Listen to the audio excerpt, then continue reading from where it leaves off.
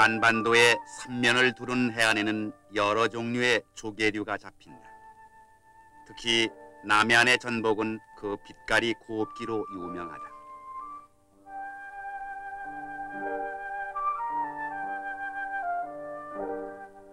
한국인의 조상들은 옛부터 이 차계로 한국 특유의 나전 칠기를 만드는 솜씨를 보여왔다. 남해안의 경남 통영지방은 나전 칠기 제작의 중심지였으며 이곳은 한국의 많은 전통 공예가를 배출한 고장이기도 하다. 김봉룡 옹은 이 나전 기술을 오늘에 이어온 인간 문화재로 1902년 이고장에서 태어나 16세부터 28세까지 스승에게 기술을 익혔다. 또한 이 지역은 국립공원인 한려수도의 길목으로서 경관이 뛰어나고 풍부한 해산물의 산지이기도 하다. 새벽이면 해변에 나가 싱싱한 해산물을 둘러보는 것을 일과로 삼고 있는 김봉용 옹.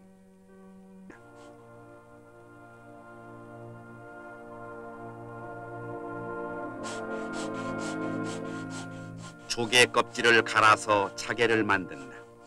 종이처럼 얇게 숫돌에 간 조개 껍질을 차게라며 전복 껍질 하나 갈아 차게로 쓰는 부분은 편편한 일부에 지나지 않는다.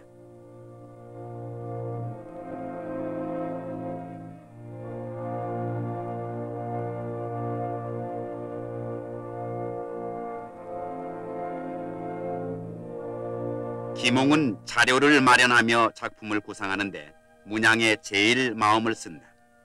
한국 일상생활에 쓰이는 풍부하고 전통적인 각종 문양에서 산수화 그리고 현대 회화의 수법에서 이루어진 것까지 다루지 않은 것이 없다.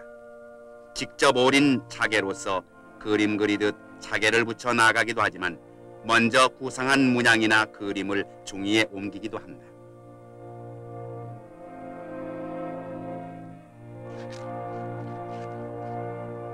이것이 조상들이 해왔던 수법으로 직접 칠판에 차계를 오려붙여 완성하는 방법이다. 석의 칼로 차계를 끊고 갈아서 모양을 만들어 하나씩 직접 갖다 붙인다.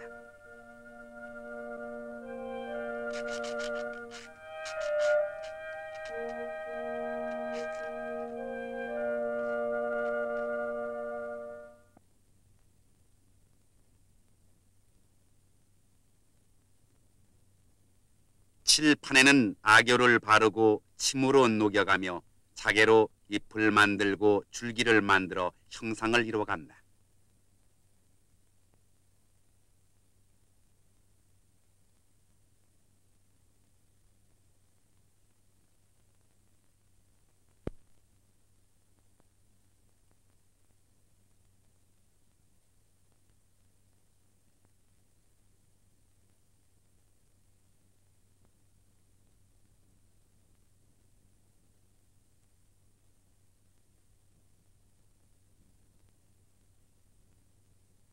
가을 타오르는 붉은 산에 가지를 뻗는 단풍.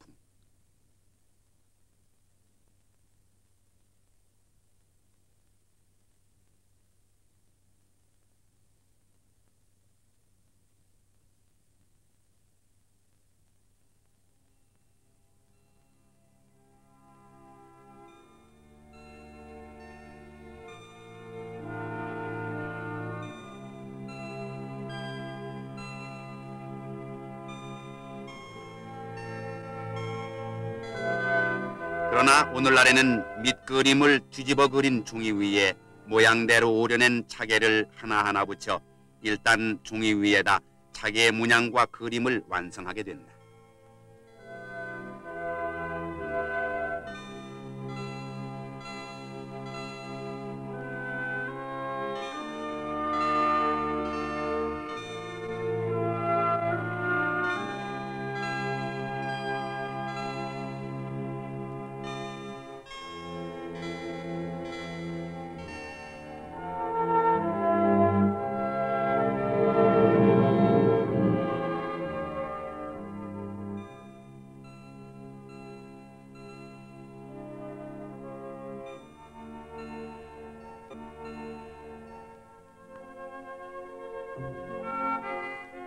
강원도 원주 지방의 치악산 산마루.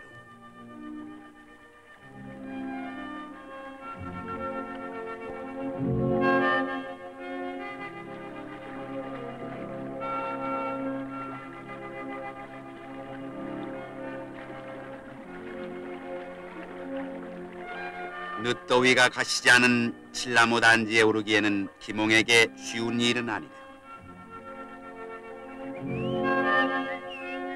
붉은 단풍이 드는 오칠나무 단지.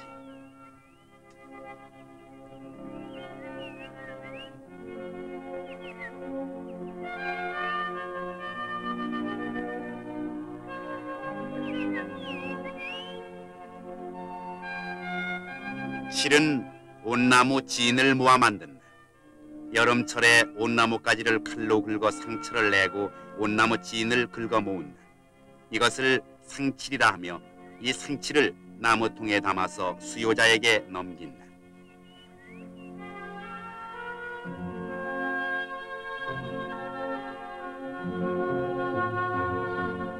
실은 여러 가지 염료나 안료를 첨가하여 색깔을 내는데 낭낭시대나 삼국시대에는 4종의 착색칠이 있고 요사이는 30여 종이 있으나 대부분 검은 칠 그대로 쓰는 경우가 많다.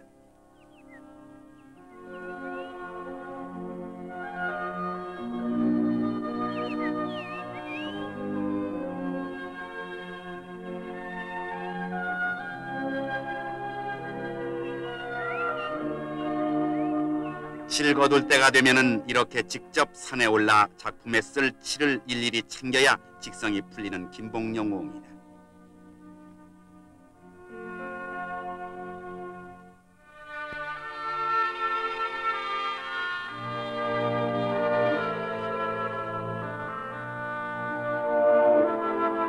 홍송이나 향나무로 만들어 온 가구 표면인 백골을 사포로 고르게 하여 생칠을 바른다. 질장에서 하룻밤을 재운 다음 톱밥, 밥풀 그리고 생치를 섞어 다시 틈난 곳을 메꾸고 그늘에 7, 8시간을 말린다.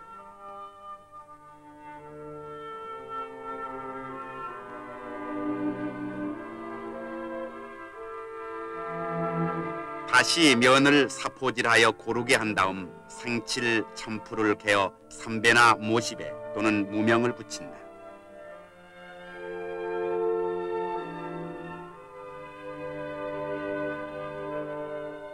그 위에 칠을 발라 그늘에 하룻밤을 말린다. 이렇게 함으로써 자개가 박힐 바탕이 금이 가거나 뒤틀어질 염려가 없어진다.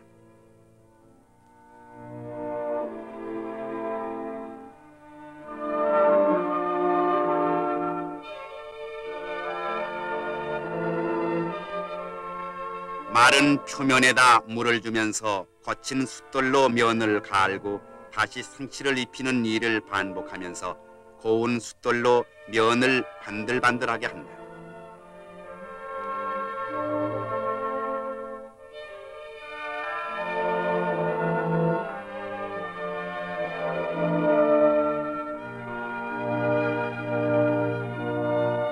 이로써 바탕의 칠 작업은 일단 끝난 것이다. 칠판이 완성되면 이제부터 자개 붙이기 작업으로 들어간다. 이와 같이 칠판에 직접 자개를 붙이는 기술을 끊음질이라 하며 전통적 수법이기도 하다. 자개에 악교를 붙이고 석의 칼로 다듬은 자개나 실처럼 가늘게 자개를 잘랐다가 테나 문양에 따라 끊어가며 붙인다.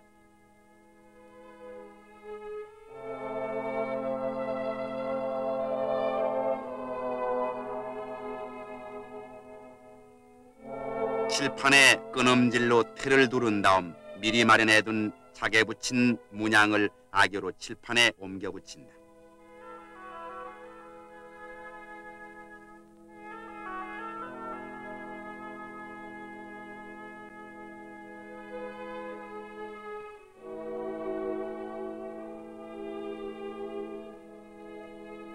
그 위에 숯불에 달군 뜨거운 인두로 힘을 주어 내리 누르며 지진다.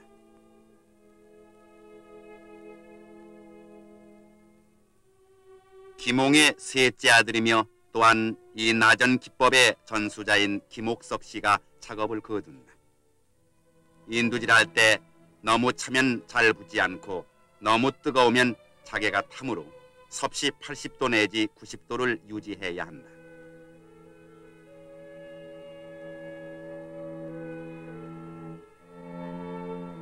인두로 지진 뒤 더운 물을 붓으로 종이에 발라 불 키운 다음 걷어낸다. 물기가 마르면 솔로 더운 물을 살짝 뿌려가며 문질러 악교를 뭉개어 닦아내는데 재빠르게 하지 않으면 자개가 칠판에서 뜰 염려가 있다.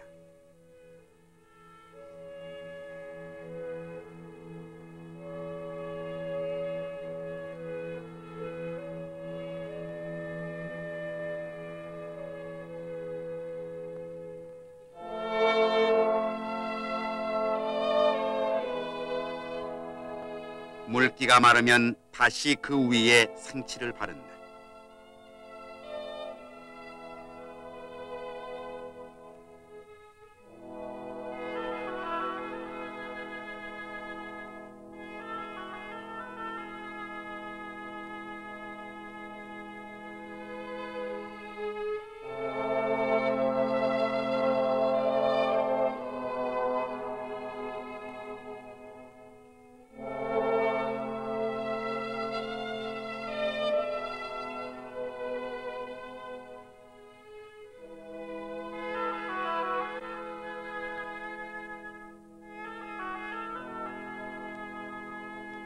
습도 7, 80%, 온도 섭씨 20도를 유지하고 있는 칠장에 넣어 하룻밤 말린다.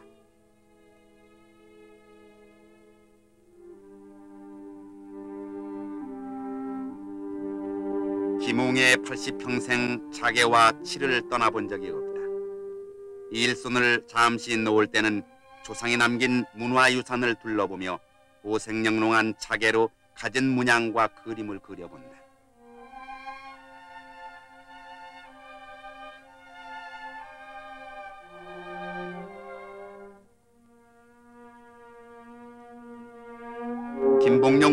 많은 나전 칠기 작품을 제작하여 일본, 중국, 불란서 등 만국 박람회에 참가하여 수상했으며 한국에서는 유일하게 나전 칠기 제작 중요 무형 문화재 제10호로 지정받았다.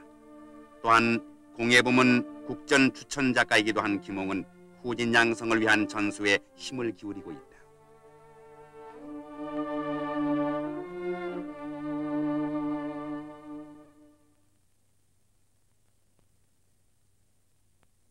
칠장에서 하루를 지내고 나온 차계판.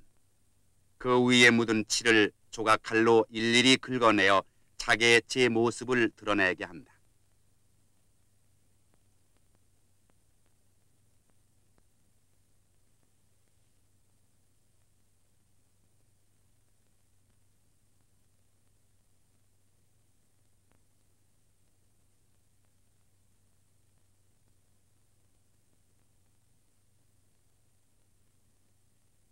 이렇게 자개 위에 칠을 벗겨낸 다음 수추로 바탕을 갈아낸다.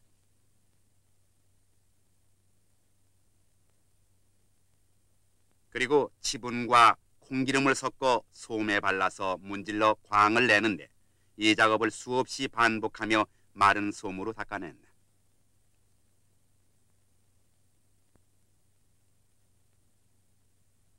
이렇게 끈질긴 장인 정신이 없고서야 도저히 배겨낼 수 없는 작업임을 김홍의 작업 공정에서 엿볼 수 있다.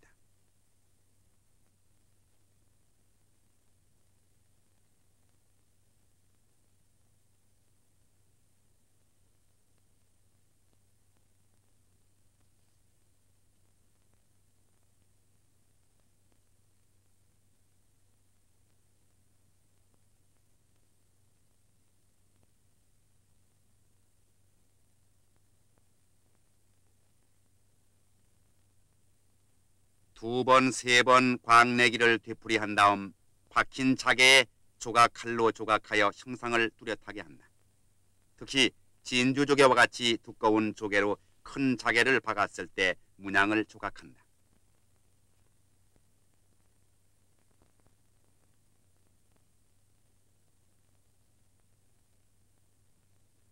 그리고 그 위에 생치를 발라 선을 뚜렷하게 한다.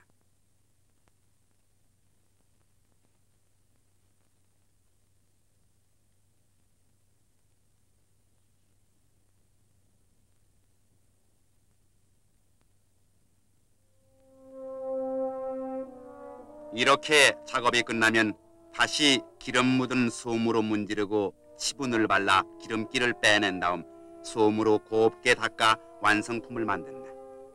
이렇게 한 작품을 완성하기까지는 최소한 3개월의 공정이 걸린다.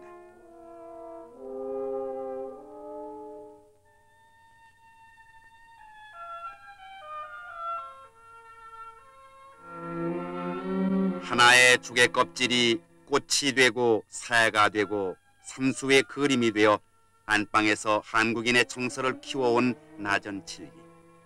이 칠기는 낭낭시대 출도품에서부터 보이기 시작하며 한국인의 손에는 고 신라시대부터 만들어진 것으로 추측되고 있다.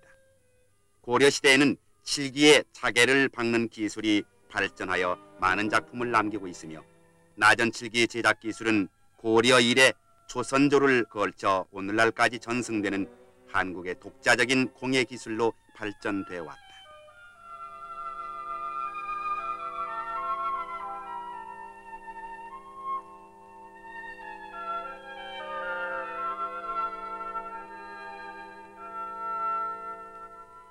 전통에 뿌리박고 있는 한국 나전 칠기의 기술은 이 길에 평생을 바치는 김봉용 원과 같은 인간 문화재에 의해 더욱 발전을 보게 될 것이다.